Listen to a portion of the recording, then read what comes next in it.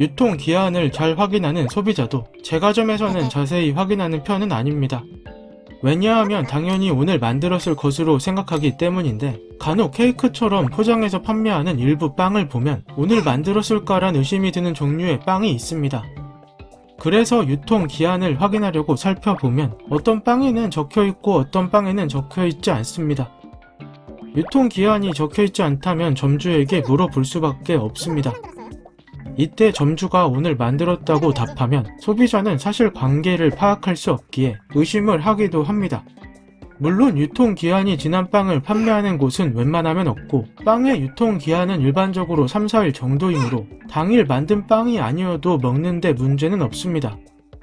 하지만 소비자는 최대한 각 구운 빵을 원합니다. 따라서 소비자의 만족도를 높이기 위해 모든 빵의 유통기한을 적어놔주면 좋을 것 같은데 왜 일부 빵에만 유통기한이 적혀있는 걸까요?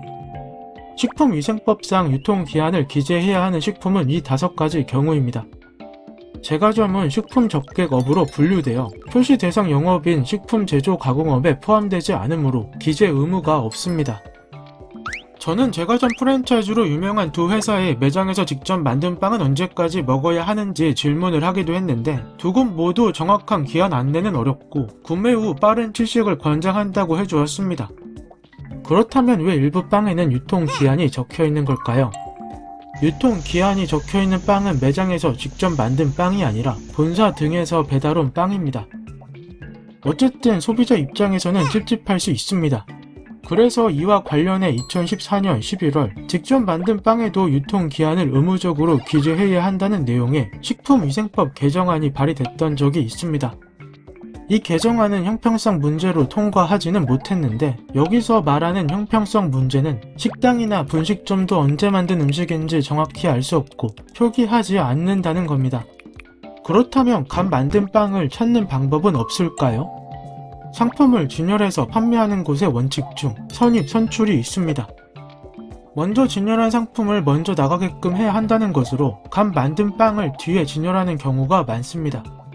다만 이 방법은 너무 많은 소비자가 알고 있어서 페이크를 주기 위해 중간중간에 섞어 놓기도 한다고 합니다.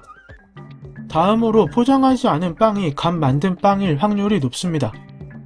간 만든 빵은 뜨겁고 이를 바로 포장하면 비닐 포장 내부에 습기가 차므로 잠시 놔둡니다. 보통 이런 빵은 틀째로 내놓습니다. 그리고 포장지에 들어있어도 접착부가 열려있는 빵이 간 만든 빵일 확률이 높습니다. 실제로 내놓았다가 잘 안 팔리면 포장지에 옮겨두고 고르는 손님이 있으면 바로 포장해서 주기 위함입니다.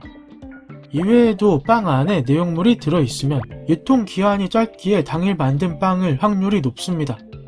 궁금증이 해결되셨나요?